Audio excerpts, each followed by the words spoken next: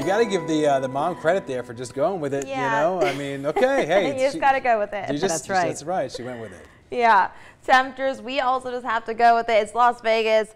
Upper one, I mean upper low 100s here. North Las Vegas 108, heading into McCarran at 108.2 as well. Red Rock sitting at 102.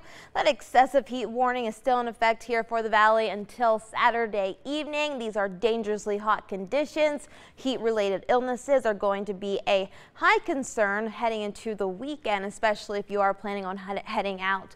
Wind speeds now 22 miles per hour, Boulder City, so a light breeze here passing through the valley. Weather headlines though for you, we've had a very hot start to June.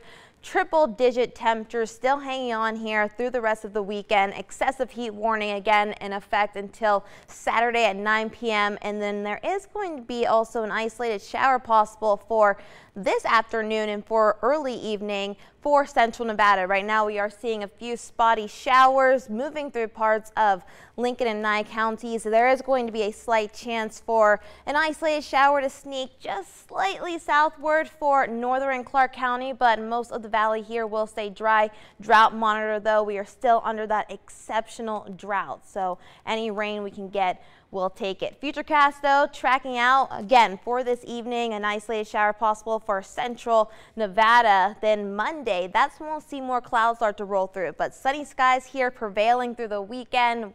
High UV index, so protection is needed.